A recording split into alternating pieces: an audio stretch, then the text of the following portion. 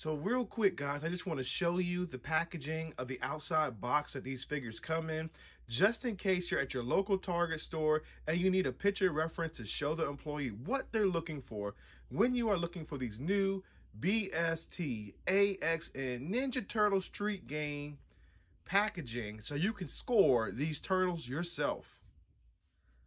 So these were the four figures inside of that packaging that I just showed you at my local Target store.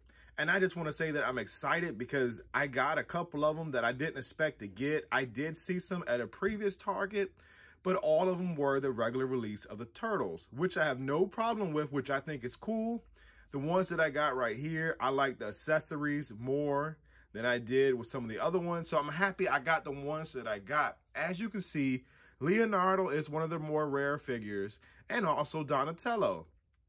But Raphael and Michelangelo are the basic versions of the figures, as you see right here in front of you. So let's go ahead and check out these figures, and I'm going to do the reviews one at a time. So we're going to start off with a Turtles a Day, and we're going to continue this, and it's going to be a four-part series. So please stay tuned and subscribe and support my channel.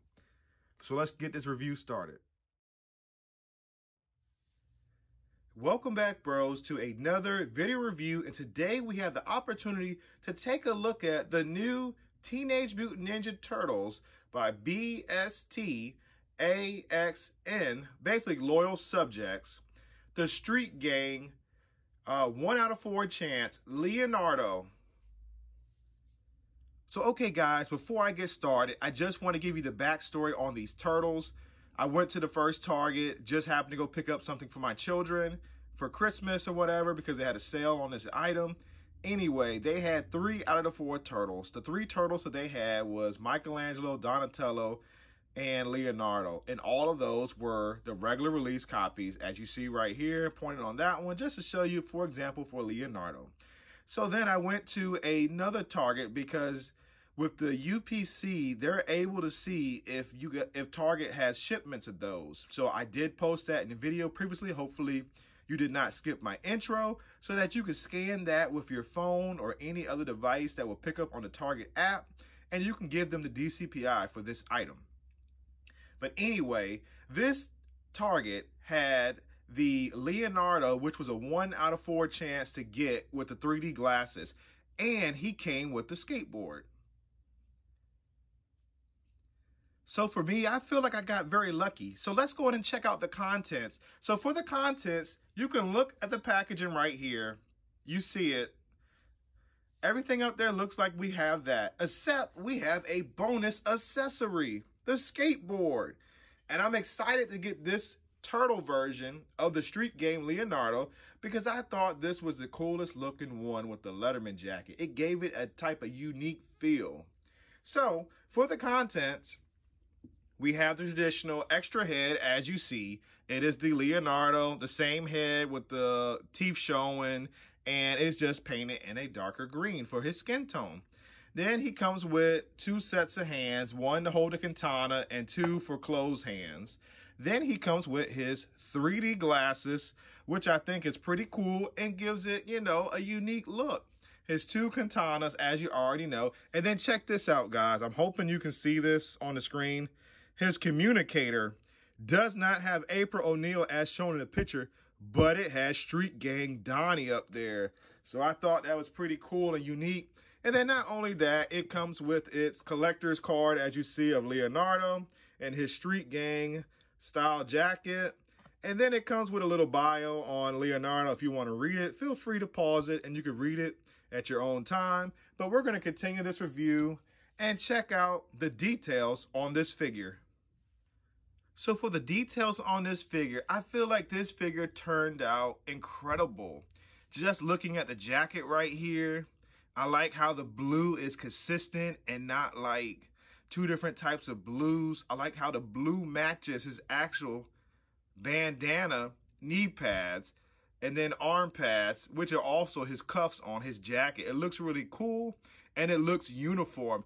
Not only that, check out his belt. The belt looks exactly like it did in the Ninja Turtle ca cartoon. Now, it would have been cool if these were fully clothes in their jacket, but I'm okay with the zipped up jacket because, you know, you look cool when the jacket is zipped up versus all the way closed, in my opinion. And then not only that, check out the Chuck Taylors, man, the blue and white Chucks. They did a really good job on those Chucks. And not only that, they did a good job on the head sculpt. My eyes look actually decent. They don't look cross-eyed like Playmates on some of their figures. And I think they did a really good job with this figure on this figure is pretty much the same. The arm can go up that high. It has a full 360 rotation. It has a upper bicep, maybe swivel. And then not only that, the turtle is sort of double jointed, but that does look a little messy right there. I don't quite like that. But the arm thing, um, the hand can rotate all the way around. It can go out like that. It can go in. But like I said, it's like the NECA. You got to warm up the joints inside to get them working. The leg can go up that high. It can bend that far back.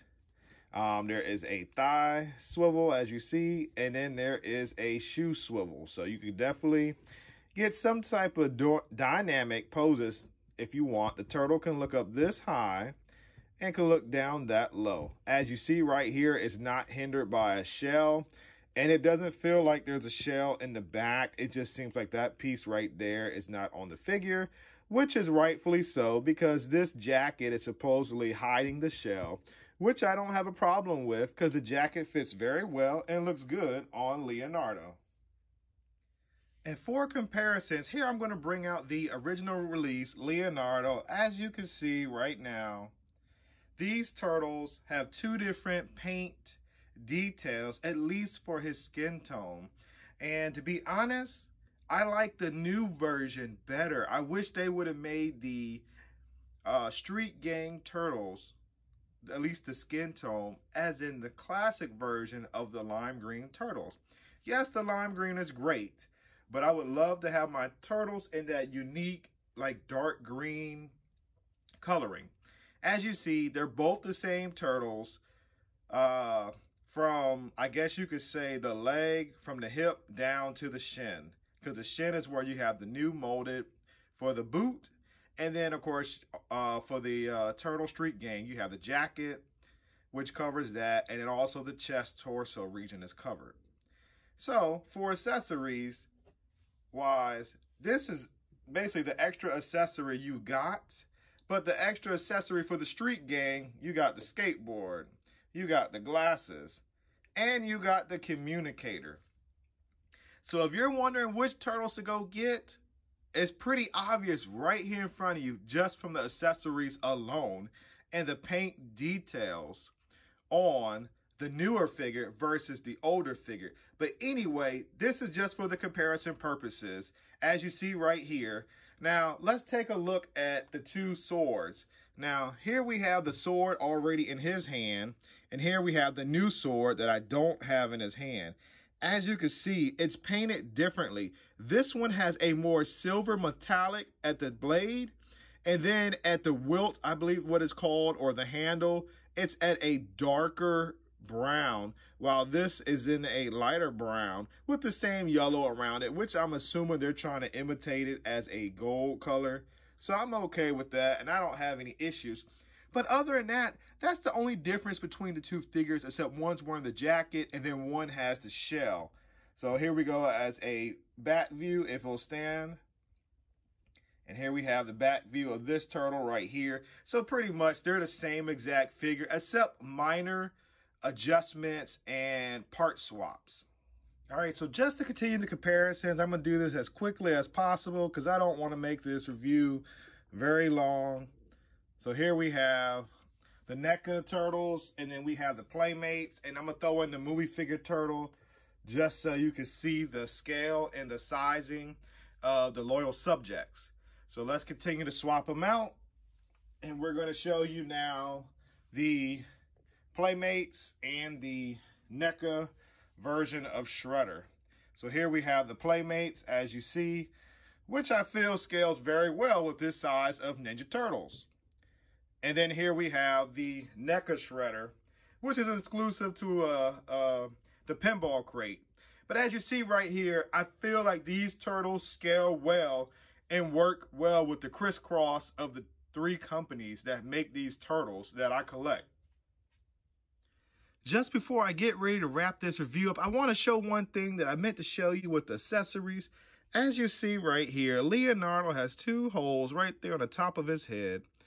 And the glasses just simply uh, peg in there, which is really neat, that they actually fit. So you don't have to worry about the glasses falling off his head. Just slightly give it a push down, and it fits on perfectly as you can see. Now, I meant to say this also. The feet does not have any type of pegs for it to sit on the skateboard, which is a bummer. I was hoping that they had little pegs so that the turtle can just, you know, sit comfortably on the skateboard and not worry about falling off. But you can actually place a turtle up there and it will balance and stay still. So it does work, but I wish it was pegged on so it will have more playability and also a better way of staying on the skateboard without possibly falling off in your display. So with that being all said, which was a mouthful in my opinion, this is a figure pickup and it gets the yeah bro thumbs up figure of approval system.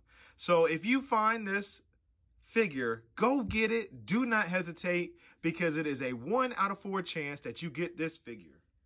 As you already know, this is a Target exclusive and it costs $18.49 per figure.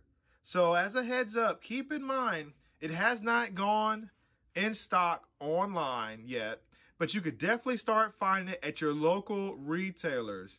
And I was shocked that I was able to find this figure in Virginia so fast when it's been showing up mainly on the West Coast. As always, please like, comment, share, and subscribe. By doing these four actions, it shows my channel a tremendous amount of support and also positive feedback and encouragement to continue making more video reviews for you to watch. So thank you once again for spending your time to watch my video. Until next time, yeah bro, I'll see you soon.